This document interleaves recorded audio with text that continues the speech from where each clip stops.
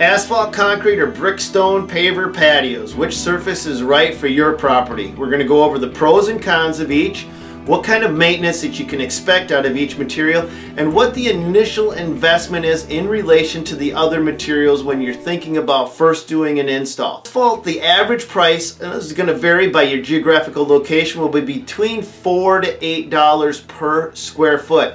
Asphalt typically has the least initial investment into it, but be warned, asphalt also has the highest level of maintenance of the three surfaces that we've covered after your initial installation happens, about every three years, you should expect to do a resurfacing. Asphalt's going to develop cracks and you have to apply a rubberized compound which stops the cracks from spreading and spidering throughout the driveway. Concrete comes in about dead middle for initial expense, averaging anywhere from 8 to $12 per square foot but it also has the lowest level of maintenance of the three hard surfaces. But be warned, salt can severely degrade concrete very quickly in as little as one or two seasons, whether that salt is applied on sidewalks or other flat surfaces, or if you're building a retaining wall made out of concrete masonry units or retaining wall blocks that are exposed to salt, those that salt can degrade the face of the blocks and lead to the ultimate total collapse of the retaining wall.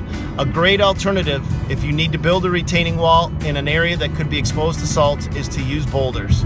They don't seem to su suffer any damage from salt applications. Here's another fun fact about concrete. Some of the old timers in the industry actually call it crackcrete because during the curing process, the water that was used for the initial pour evaporates or wicks out and that concrete then has to is forced to shrink.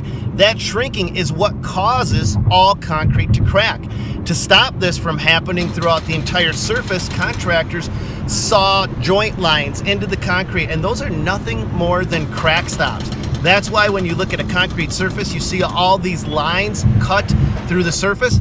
That's to keep the cracks from spreading. Make sure you stay tuned to the end of the video to find some neat tricks on ways to extend the life of your concrete or asphalt and to minimize the cracking.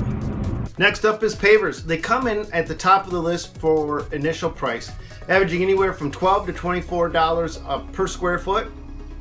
And they do have a medium level of maintenance. Pavers can develop weeds. The seeds can get in the joint spacing, so periodically you may have to spot spray your driveway, sidewalk, or patio with a crack and crevice to keep the weeds under control. Pavers can also have individual settlement, but that is the beauty of the system because they will settle but not crack and break. That settlement is so easy to fix. You can literally pick the pavers out of the ground, rebase them, and put them straight back in place making pavers the only system between the three that is a lifetime product with a medium level of maintenance. Here's a neat pro tip for you. If you happen to get an oil stain or something on your paver driveway and you can't scrub it out, simply pop the pavers in out of place, flip them upside down and put them right back in place. The bottom side of that paver will look like brand new. And your driveway, you'll never know you had a stain there. Last but not least, what we want to cover is stamped and colored concrete. Be careful of stamped colored concrete for a number of reasons. One is there's two ways of installing stamped colored concrete. We're going to focus on the coloring process right now. Sometimes companies will just surface spray the, the top of the concrete. And what happens is when that concrete cracks, which it inevitably will as you know, at the first sign of that crack, ruining the illusion that you saw by going with stamped colored concrete in the first place.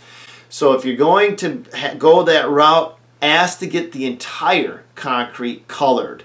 That way when the crack does form, it will not pop out at you so much. Now here's a pro tip to dramatically extend the life of any hard surface you choose to use around your home. Every driveway is going to have base material underneath it. On average, it's four inches. Deepen that base material to 6 inches. Your base material is basically the cushion from the subgrade down here and your hard surface up here. Oftentimes the subgrade will be flexing and moving and when that subgrade flexes and moves It transmits that movement through the base material and destroys your hard surface, especially if it's asphalt or concrete. When you deepen that base material, you're adding an extra layer of protection so as this base is moving, it's not able to transmit that movement to your hard surface. And your hard surface, the life of it will dramatically improve. Another tip, if you're going to be pouring concrete and you choose to use concrete as your hard surface, instead of going with a typical 4-inch pour for your concrete, deepen that to 6 inches.